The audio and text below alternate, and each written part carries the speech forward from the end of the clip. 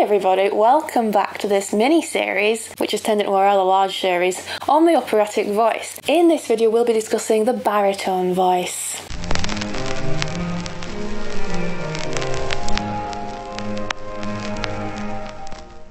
As you know, if you're following these videos, I'm writing an opera, and so I've been thinking a lot about voice types and voice categories, and so I thought I would do more research or just refresh my mind of all these voice types and make a comprehensive lecture series on the voice so the composers can use it. It's useful for me because I do need to make sure I understand all this. And I'm having fun doing this, I'm learning a lot already. Some of it's quite scandalous why would you not want to watch this? Now, this isn't supposed to be a definitive overview of voice categorization. It's just a good general guide for myself and other composers and anyone wishing to learn more about the voice or maybe even get a brief introduction to the voice, depending on how good you think this video is. I think it's absurd to categorize voices. It's said to apply categories to everything, but we need to do it in order to understand things better. And these categories help us understand the different voice types better. There will be exceptions to every rule and every category, as we will find out. So, without further ado, let's explore the baritone voice. The baritone is the middle ranged male voice type that lies between bass and tenor. Now, I did say it was male. Yes, we will explore this concept of gendering voice types in a later video, possibly in the trans voices video. But for now, it's generally, traditionally assumed to be the middle ranged male voice type. It has a vocal repertoire that lies at approximately A2 to A4 in classical and operatic music. In choral music, the baritone part has lower notes that span from F2 to F4, but the range can extend at either end. Just work with your local baritone when you write your next opera. Now, a good bit of etymology. You know, I love etymology. The term baritone itself comes from the Greek for baris, meaning deep or low, and tonos for tone. So low tone, deep low tone. Language is a simple thing when you think about it, but it's also a living thing, which is why fixed categories are absurd. Character types now. The baritone sings a variety of roles from unloved husbands hmm, to villains and many roles in between. Like, those are the two extremes for some reason. Many of the most exciting male roles in opera are sung by baritones, apparently. Italian composer Giuseppe Verdi, in particular, wrote well for baritone, giving it the title roles in operas like Rigoletto, Nabucco, and Macbeth. Famous baritone roles include Count Almaviva from Mozart's The Marriage of Figaro, Figaro from Rossini's The Barber of Seville, Marcello from Puccini's La Boheme. For an example of a baritone in action, check out Mozart's Don Giovanni performed by Mariusz Kwiecień. And I got this example from sfopera.com. There are seven vocal subtypes within this voice type category, namely, baritone Martin baritone. I did have to look this one up because I was like, Martin. Lyric baritone, Cavalier baritone, Verdi baritone, dramatic baritone, baritone noble baritone, and bass baritone. We're on to the baritone Martin baritone, which is a light baritone. The baritone Martin baritone is also known as light baritone due to its light voice quality that is almost the same as a tenor, but lacks the G2 to B2 range of other baritones. It has a vocal repertoire that typically starts from C3 to B4. This baritone vocal subtype was named after Jean Blaise Martin and is only seen or heard in French repertoire. Baritone Martin singers can be trained as tenors as they share the same primo passaggio and secondo passaggio of the dramatic tenor and Helden tenor. Now we'll look at the Helden tenor later on. And the dramatic tenor probably. Hang on a minute. Check out the tenor video for more information about the Helden tenor and potentially the dramatic tenor. I cannot remember what I said. Now let's cross reference different resources. So, according to the Opera House Gazetteer, although I think this source got its info from Wikipedia, but anyway, let's just discuss. The baritone Martin has a common range from low C to the A flat above middle C, so that's C3 to A flat 4. It lacks the lower G2 to B2 range that a heavier baritone is capable of and has a lighter, almost tenor like quality. It's generally seen only in French repertoire. This Fach was named after the French singer Jean Blaise Martin, so we've got confirmation of that now. It is associated with the rise of the baritone in the 19th century. Martin Martin was well known for his fondness for falsetto singing, and the designation baritone Martin has been used to separate his voice from the Verdi baritone, which carried the chest register further into the upper range. That's really interesting to me because if you think about the vocal positioning of when you speak in the French language, it's kind of back towards the back of the throat and lower down, whereas the Italian is at the tip of the tongue, at the front of the mouth. mouth. And I think this is interesting because it tends to resonate similarly in the vocal uh, in singing. It is important to note that this voice type shares the primo passaggio and secondo passaggio with the dramatic tenor and Helden tenor, as I have already said. And hence, the um, baritone Martin could be trained as a tenor. Now let's have a look at the lyric baritone. According to Richard Miller in his helpful book, Securing Baritone, Bass Baritone and Bass Voices, and this is quite a useful book to be fair, most of the opera and art song literatures are written for the lyric baritone. He writes that the lyric baritone is destined to sing the major roles in the lyric theatre. Many of opera's greatest baritone vehicles belong to him. Roles in operas by Rossini, Bellini, and Donizetti, a great deal of the French operatic literature, and the vast reservoir of the Lied and the melody literature are his staples. The bel canto poles of agility and sostenuta are united in his literature.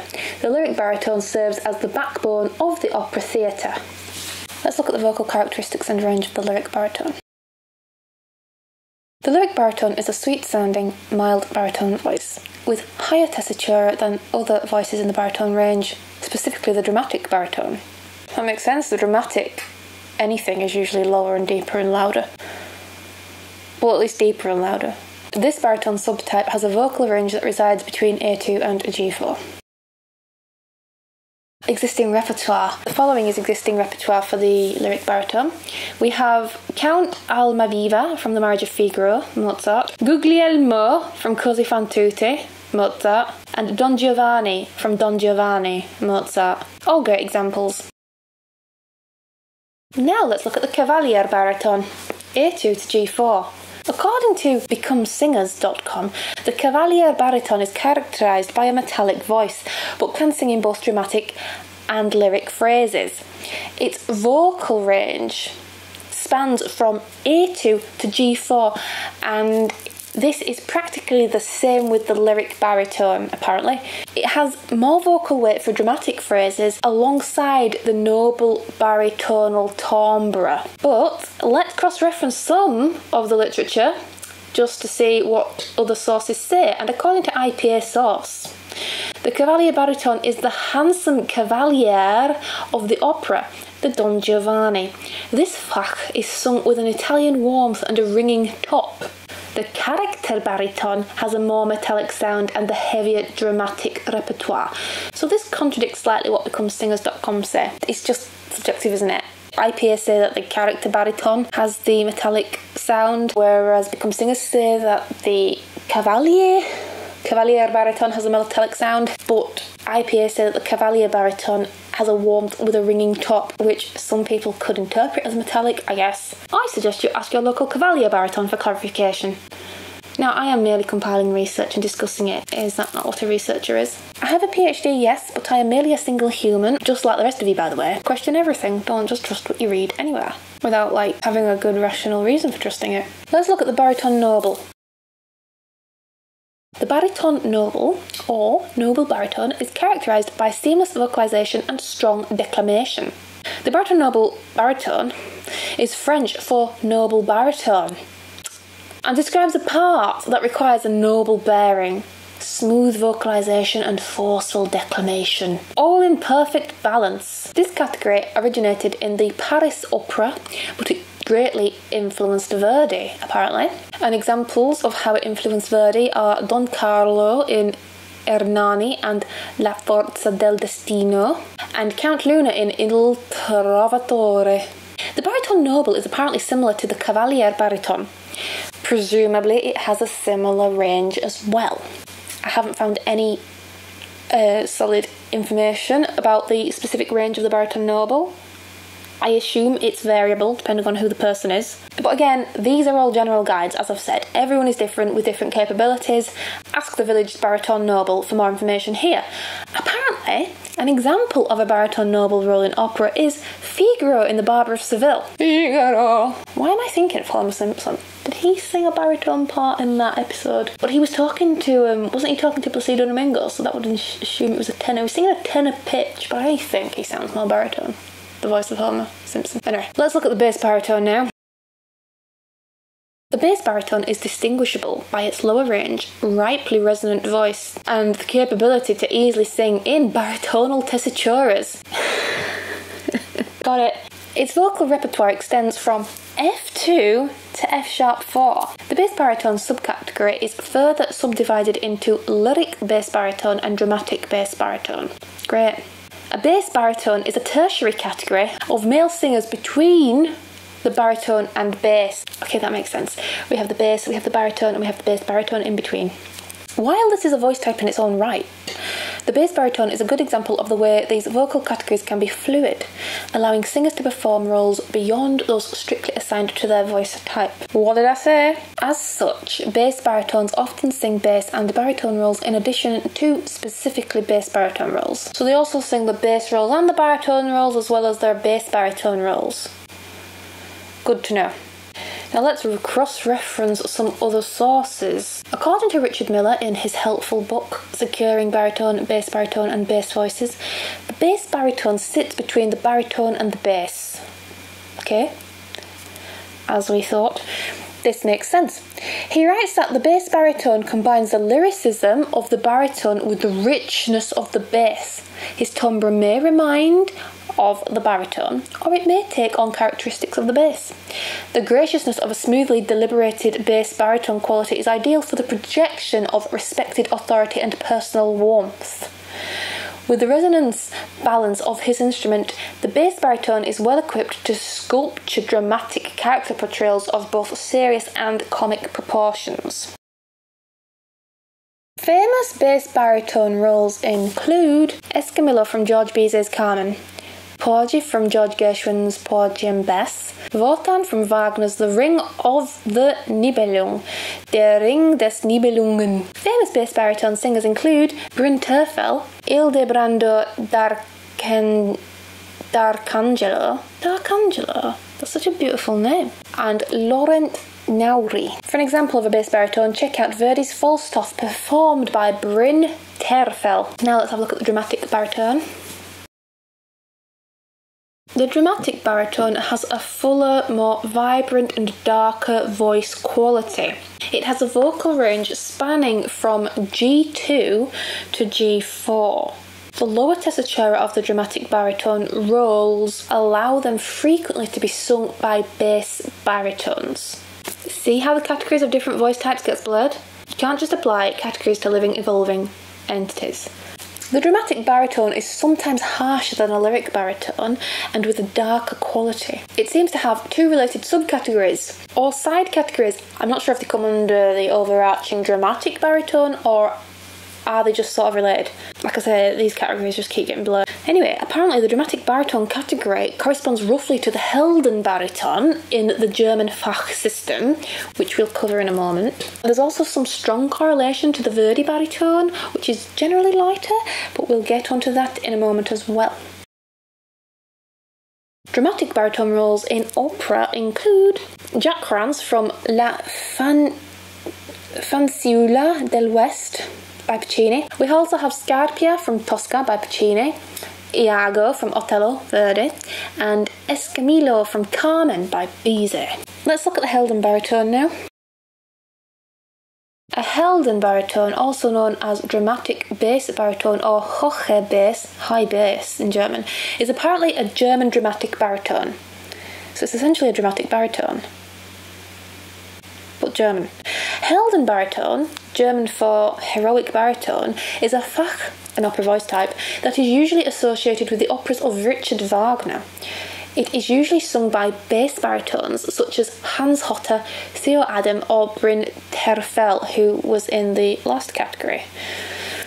Wagner himself calls this voice type hohe bass, high bass rather than baritone.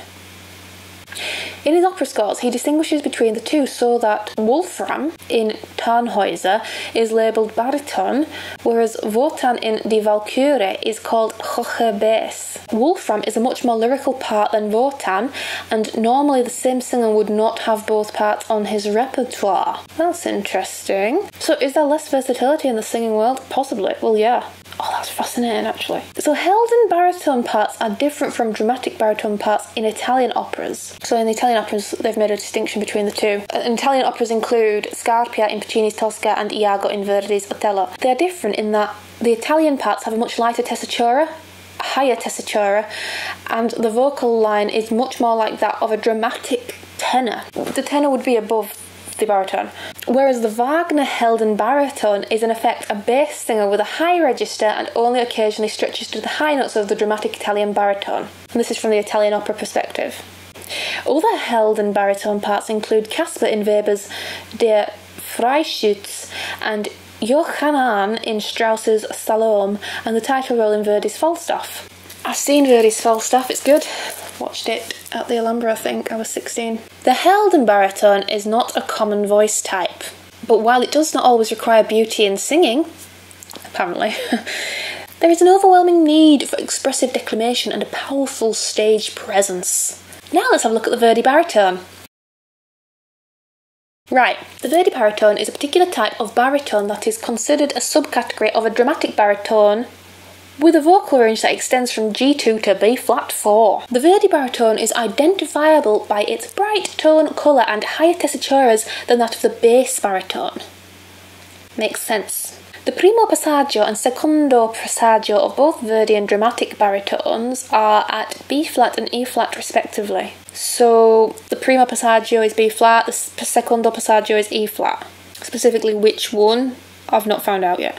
So basically, the, the, the passagios are as the same. The dramatic baritone and the Verdi baritone are the same in terms of the passagios.